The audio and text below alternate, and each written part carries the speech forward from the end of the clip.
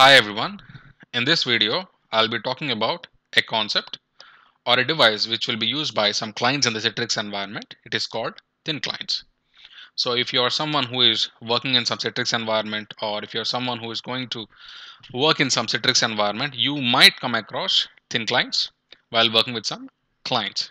So as you see in the picture, thin client is a device, okay? Thin client is a device which can be connected to a monitor and the users who use this thin clients can stream the virtual desktops okay? They can launch the citrix applications or desktops from their end user devices. So uh, let's say let's consider for example if you have a laptop or a desktop okay? Let's consider for an example if you have a laptop or a desktop a laptop should have a laptop has a minimum configuration of like 8 GB or 16 GB RAM or i3 processor, i5 processor, i7 processor, all these things. It could be little bit expensive for end users to use these laptops or desktops. So instead of using those laptops or desktops, companies what they can do is they can provide these thin clients okay they can provide these thin clients to the end users let's say if an organization has like 10,000 employees and employers cannot you know purchase 10000 computers desktops or laptops and give it to the end users. These these days all the users are connecting remotely. They're working from home. They work some are working from coffee shop or some are some are working from office. So the companies cannot buy you know uh, laptops or desktops and give it to all the users. So in this case to save to save money and to, to make it quite user friendly employers can companies can simply purchase these thin clients and they can give it to the end users. Okay they can give it to the end users. So what they can do is they can simply connect this thin client to the internet service provider modem or whatever it is and they can connect it to the monitor a simple monitor and they can access the virtual desktops or applications. Okay all they need to do is they need to connect this to a monitor and they can stream or they can launch the virtual desktops or applications from any location. Okay, so this is the whole idea of thin client. So it can save a lot of money actually. So employees can simply buy these thin clients. So there are there are different manufacturers in the market. It could be Dell or it could be HP. So they can buy these thin clients and they can give it to the users.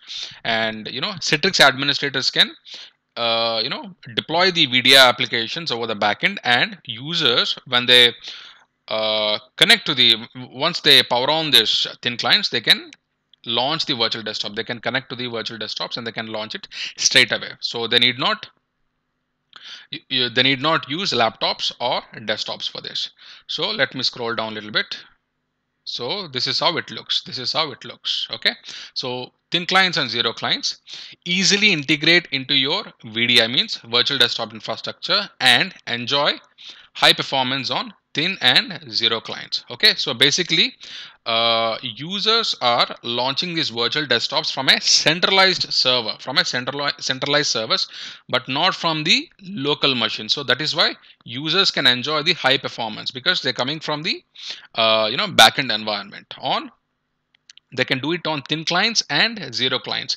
So zero uh, so far we were talking about thin clients zero clients means it's like you know it doesn't even have a processor or memory. It is like it is like a monitor. That's it. It is like a monitor. It has some you know it, it has a device and it has some firmware in it and it doesn't need to have the components that thin clients have. Thin clients have some a little bit of you know processor memory storage but zero clients would not have those things. So thin clients and zero clients would be very very helpful to access citrix environment VDI environment especially.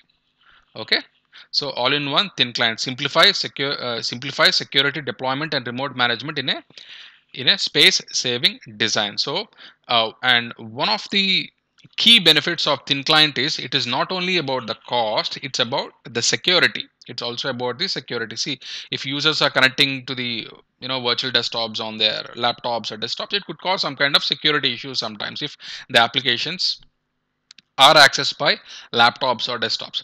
But if the users are connecting through thin clients or zero clients it really helps to you know uh, prevent any security issues because the virtual desktops or the you know applications are streaming from the centralized server from the centralized server. Okay let me open the powerpoint presentation now. Okay in simple terms what is thin client? Thin clients are lightweight low cost devices that that derive support from a server to perform IT functions. They have components one would expect to find in their fat client counterparts including processors memory storage USB ports and OS, easy to install and manage. So thin clients basically look like this. Yeah, basically look like this and and they have processors, memory, storage, USB port, USB ports and OS. But these are all, you know, uh, you know, they are not very high-end uh, you know processors it does not have high-end memory or storage they are they have basic processor basic memory basic storage and basic usb ports okay it, it is not like thick clients or laptops or desktop which have a very high-end configuration. So thin clients have basic processor, memory, storage, and operating system. So this is how it looks basically. So let, let us go to the next slide. So it is basically it is it is it is very easy to install and it is very easy to manage. Now let's go to the next slide.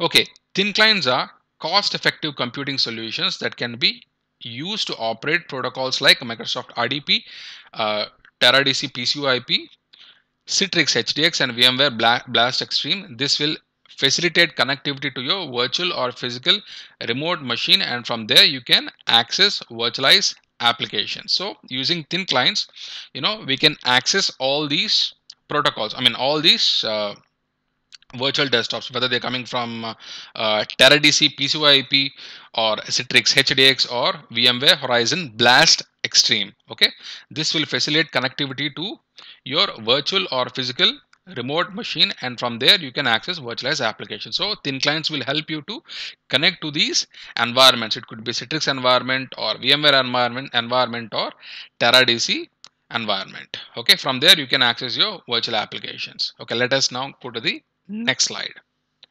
Okay, what are the benefits of thin clients? Okay, now we have discussed a little bit about thin clients. Now let us talk about the benefits of thin clients.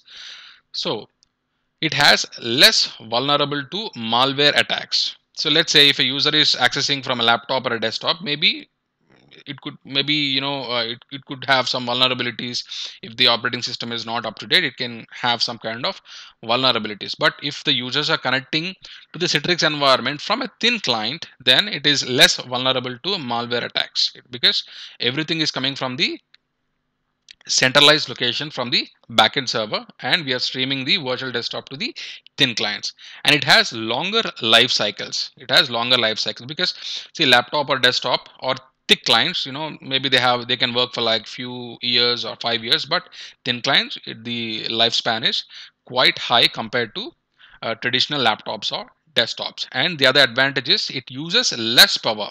So normal laptops and desktops we need to have power we need to have high power and it consumes a lot of power. But when it comes to thin client it uses less power. And the next one is less expensive to purchase than deploying regular PCs as we have discussed in the initial few in the first few minutes of the video it is very you know it is very economical. It is not it is less expensive compared to the traditional laptops or desktops that we use on day-to-day -day basis.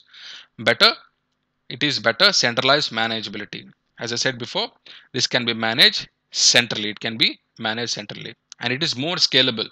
So let's say if, if, let's say there are you know 50 new employees you know who join the organization. Instead of you know purchasing 50 new desktops or laptops you can simply send the thin clients to them. They can you can simply send the thin clients and monitors to them. They can simply connect and start connecting to the citrix environment. So it is quite scalable.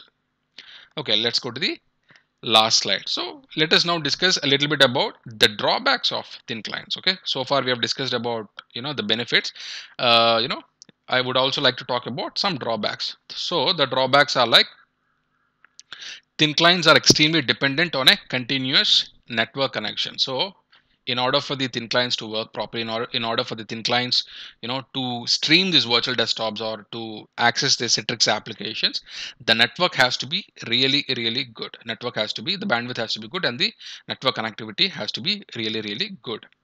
And the next point is networks are generally slower than relying on internal computer components. Networks are generally slower than relying on internal. Okay, so uh, when using the thin client environment, networks can be a little bit slow. It could be a little bit slow compared to the uh, traditional computers, traditional laptops or computers. And bandwidth and performance can be a critical bottleneck. As I have just discussed, the bandwidth and performance need to be really, really good. Otherwise, it can cause some kind of bottleneck or performance issues. And the last one is serv servers must be sized correctly so they can deliver the right amount of resources to each client okay? So uh, if you if you if the end users want to access his virtual desktops properly we need to make sure that these virtual desktops are provisioned properly in the backend environment. We need to give the right resources. We need to provision it correctly.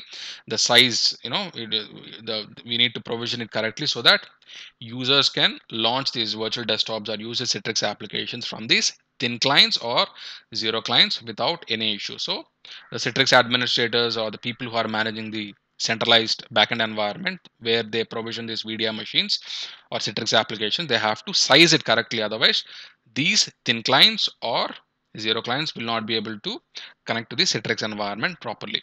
Okay, so this is uh, what I would like to share in this particular video. I know it is a pretty long video. I would like to give some basic details about this thin clients and zero clients because I have not discussed about this concept before. I really hope you find this information helpful. If you like this video, please like and subscribe to the channel. I hope you find this information helpful. Thank you for watching. I will catch you in the next video. Bye-bye.